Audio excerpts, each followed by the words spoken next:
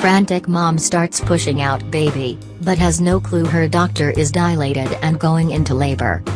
Dr. Amanda Hess is an obstetrician gynecologist from Frankfort, Kentucky. She recently checked into the Frankfort Regional Medical Center, but not as a doctor. Amanda was going into labor and settling into her delivery room. But the obstetrician soon learned another pregnant woman needed help. Amanda's husband looked at her and said, Is that a woman screaming? Indeed it was. Leah Halliday Johnson's baby was coming faster than expected.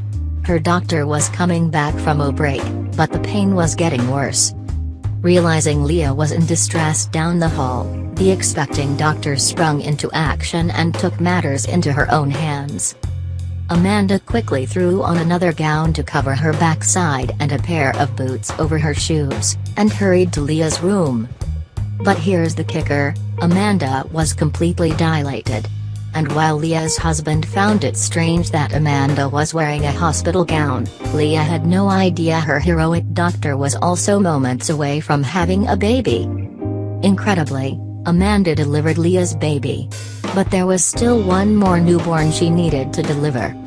Moments that followed, and please share this unbelievable story with your friends on Facebook.